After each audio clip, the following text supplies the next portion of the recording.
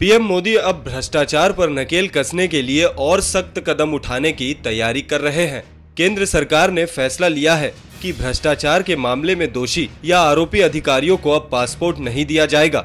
एक निजी अखबार की रिपोर्ट के मुताबिक अगर किसी अफसर के खिलाफ भ्रष्टाचार की जाँच चल रही है या उसे किसी मामले में दोषी ठहराया गया है तो उन्हें पासपोर्ट जारी करने के लिए मंजूरी नहीं दी जाएगी। अगर किसी अधिकारी के खिलाफ कोई संदेह या चार्जशीट जारी हुई हो तो भी वो इस दायरे में आएगा। सरकार ने पासपोर्ट के लिए जो संशोधित गाइडलाइन जारी किया है, उसके मुताबिक ऐसे अधिकारियों को पासपोर्ट जारी करने के लिए सत्कर्ता मंजूरी नहीं दी जाएगी।